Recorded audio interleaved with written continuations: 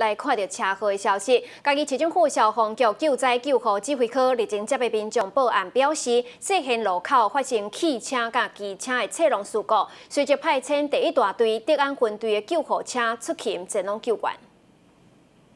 在市点分队救人员到场之后，现场一名女性伤者表情痛苦，坐伫路边等待救援。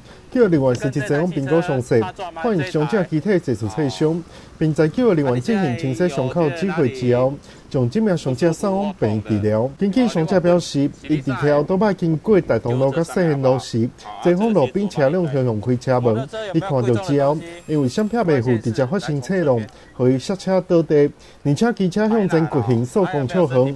好在在路边有历史民众帮忙指挥交通，避免二次伤害。而相关车祸原因由警方调查当中。新新闻调民界七彩虹报道。二零二二夏至艺术节串联四县市共同策划，以音乐游记为核心，规划八大主题，总共六十场高品质演出。最精彩的开幕就在嘉义市文化广场。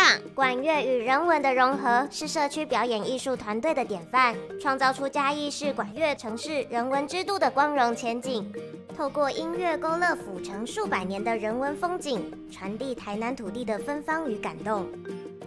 传统、创新、多元的演出风格，运用不同的打击乐器，呈现云林人艺术与创意的大结合。